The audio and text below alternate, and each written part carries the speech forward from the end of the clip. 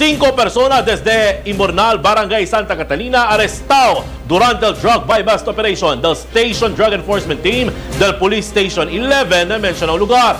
Target del drug buy bust operation amo el 39 años de edad sospechado drug pusher y a conocer como si Alan Hadjula y Kainong alias Manix, un ex-convict cuando llega el autoridad del lugar donde está sospechado na acto y puede estos alcanzar con el otro para cuatro personas, causa droga prohibido y a conocer como Kanda Rodel Ijirani, Algajir Jikiri, Raymond Adipen y si Mark Adipen.